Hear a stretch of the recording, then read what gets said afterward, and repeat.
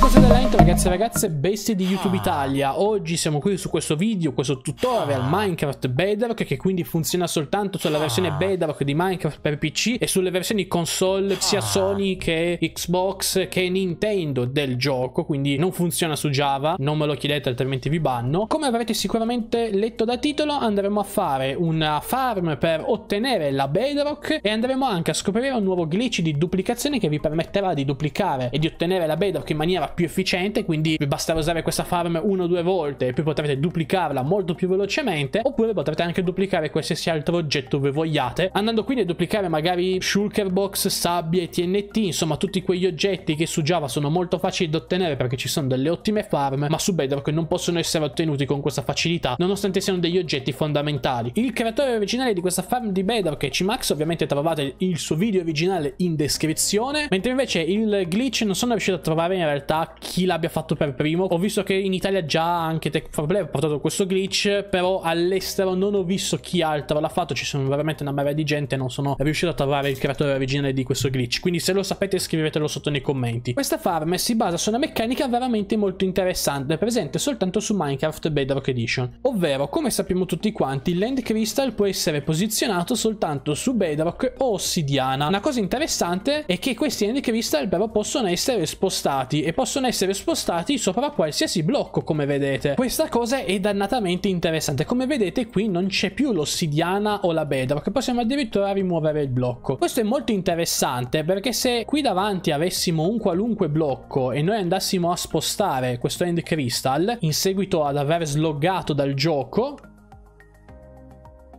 di rientrare e rompere per l'appunto i blocchi davanti a lui. Questo glitch è molto comodo, fino adesso è stato generalmente utilizzato o per rompere la bedrock attorno al portale per andare a fare delle cose estetiche oppure per andare a rompere i gate delle end city come ad esempio quello lì e costruire delle farm. Noi oggi lo utilizzeremo per fare una farm di bedrock. Quindi il principio come avete visto è molto semplice, semplicemente basta mettere il blocco, far partire il piston una volta, uscire dal gioco, spostare utilizzare questo End Crystal e una volta che rientreremo potremo effettivamente rompere i blocchi. È curioso e in pochissime parole questo è il funzionamento della farm. Detto quindi questo vi lascio subito al tutorial. Questa è la lista degli oggetti che vi serviranno. Anzitutto vi consiglio di portarvi dietro moltissimi pistoni, redstone e soprattutto gli End Crystal che sono ciò che consumerete di più in assoluto, ma anche pulsanti e TNT. Questo perché sì, per costruire la nostra farm servono questi item qua nella prima riga, ma dato che dobbiamo far esplodere tutto quanto, molti di questi questi verranno persi. Inoltre un'altra cosa che vi servirà sarà la locator map. Questo perché siamo costretti a costruire la farm da nord verso sud oppure da ovest verso est. In questo video andremo a costruirla verso est, quindi se con il nostro indicatore sulla locator map puntiamo verso l'alto vuol dire che stiamo puntando nord. Quello che faremo noi sarà girarci verso sinistra in modo da puntare verso ovest. Inoltre io qua sotto ho rotto molti più blocchi rispetto a quelli che servono, ciò per far sì che sia più facile per voi vedere il tutorial. Un altro consiglio che vi do è che prima di far partire la farm ricordatevi sempre di guardare il tutorial due o tre volte in modo da essere sicuri di aver fatto tutto giusto perché ci sarà da fare delle cose molto velocemente e se si sbaglia c'è il rischio che sponi l'Ender Dragon. Infine prima di iniziare la costruzione della farm voglio ricordarvi che il creatore originale di questa è Cmax e lascerò ovviamente il suo video originale in descrizione. Quindi la prima cosa che dobbiamo fare è andare a cercare il lato ovest della nostra farm che è questo qui. Ce lo segniamo con dei blocchi in questa maniera. Ora ci mettiamo con questi blocchi questo segno alla nostra sinistra e iniziamo a costruire la farm. Per prima cosa cerchiamo il punto centrale della fontana. Sarà molto semplice perché si troverà a coordinate 00 e andiamo a mettere un blocco temporaneo qua sotto con tre blocchi d'ossidiana in questa posizione qui e un altro blocco in questa posizione qui. Poi ne mettiamo un altro qui davanti in questa maniera qui. Andiamo a a mettere due blocchi temporanei e sotto andiamo a mettere tre pezzi di ossidiana e un quarto pezzo di ossidiana in questa maniera qui. Quindi la vostra farm dovrà essere rivolta in questa maniera rispetto all'indicazione del lato ovest che ci siamo segnati prima. Poi andiamo a mettere un blocco d'ossidiana qui sotto, altri due blocchi in questa posizione qui, blocco temporaneo e altra ossidiana. Sull'ossidiana andremo a mettere tutti quanti i nostri circuiti, quindi per ora potrebbe sembrare che non abbia senso, ma lo avrà tra poco. E ora andiamo a mettere tre blocchi temporanei qua sotto. Questi blocchi temporanei ci servono per poter utilizzare la meccanica peculiare degli End Crystal. Ora arriva la parte divertente. Andiamo a mettere due pistoni normali in questa posizione qui e mettiamo il nostro pulsante. Ora mettiamo un End Crystal, fate attenzione a non toccarlo se no schioppa tutto quanto, eh. Cosa bisogna fare? Bisogna rompere il portale adesso, quindi noi andremo a premere questo pulsante, ma come vedete non si è rotto nulla. Per qualche motivo il gioco ci richiede di uscire dal mondo e di rientrare. In questa maniera quel blocco di bedrock non ci sarà più. Adesso noi andiamo a rispingerlo e come vedete a sto giro ha funzionato. Quindi prendiamo il nostro pulsante, lo mettiamo qui dietro e spingiamo in questa maniera. Mettiamo un blocco temporaneo qui e spingiamo di nuovo in questa maniera qui. Poi spingiamo in avanti questo. Poi spingiamo di nuovo in avanti questo qui. E spingiamo di nuovo in avanti questo. Una volta che sarete arrivati a questa situazione qui, andiamo a rompere tutta questa roba qua e da molto lontano, possibilmente fatelo con un arco, rompete anche questo Ender Crystal.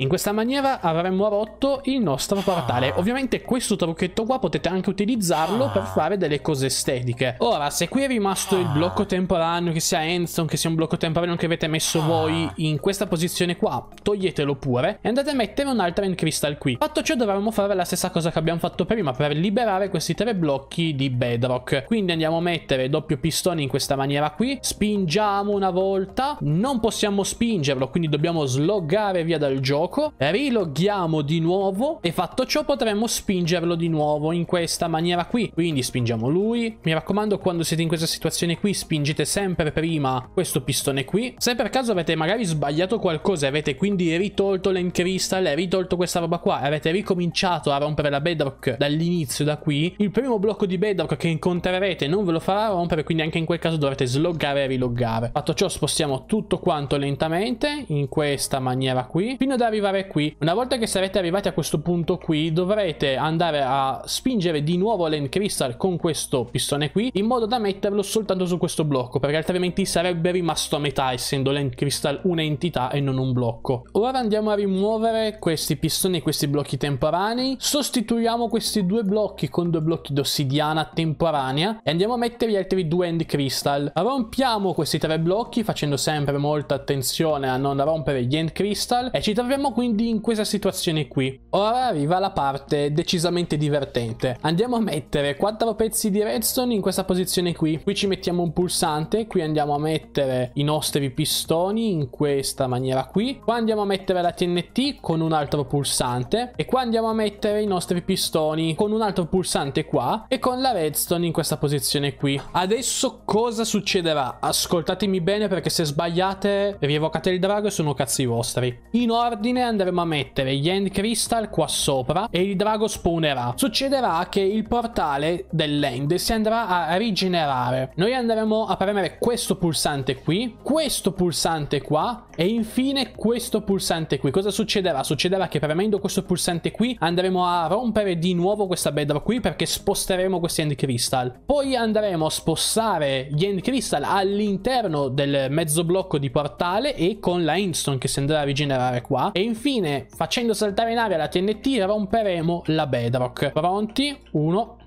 due, tre, ok. Uno, due e tre. Ok, esploso tutto. Come vedete, qui la bedrock manca, il drago non è stato evocato perché facendo esplodere tutto quanto si è interrotta l'animazione e si sono rotti anche questi pezzi di portale. Quando è così vuol dire che il glitch ha funzionato, ma non è comunque detto che riceviate il pezzo di bedrock. Potreste ottenerne uno, due o tre. In questo caso, ok, io ne ho ottenuto soltanto uno, sono stato fortunato. Perché succede questo? Allora, può capitare che il glitch non funzioni, in quel caso avrete il il portale eh, completamente intatto, ok? Quindi con questi tre pezzi di bedrock al loro posto. Quando succede così, quindi quando il glitch funziona ma non ottenete il pezzo di bedrock, le opzioni sono due. O la TNT l'ha distrutto, perché purtroppo su Bedrock Edition non è come su Java, e la TNT non vi restituisce indietro tutti i blocchi che distrugge, oppure l'altra opzione è che il pezzo di bedrock sia entrato all'interno del portale dell'end e di conseguenza ci sia, non sia stato distrutto, ma si trovi nel glitch anche di spawn del vostro mondo. Le opzioni sono queste, non sempre riesce il glitch, c'è comunque una probabilità molto alta che funzioni, è un glitch abbastanza affidabile. Comunque, ora che avete ottenuto il vostro pezzo di bedrock, andiamo a vedere come duplicarlo, perché come detto questo glitch non sempre funziona e come avete visto è anche un glitch molto dispendioso dal punto di vista dei materiali. Ah, una cosa che mi sono dimenticato di dire durante il tutorial, il glitch per l'ottenimento della bedrock funziona anche sui server, mentre invece il glitch di duplicazione che vi farò vedere non funziona sui server. Quindi noi abbiamo il nostro preziosissimo pezzo di bedrock nell'inventario, vediamo come duplicarlo in una maniera estremamente semplice e sicura e io stesso mi sono stupito del fatto che questo glitch funzioni perché vedendolo sembra una cagata, però funziona. Ci servirà soltanto dell'ossidiana per farci un portale del nether, una flint and steel, un acciarino per accenderlo e una cassa. Cioè non sto neanche preparare il set perché capite bene che cioè, sono tre robe semplicissime. Andiamo a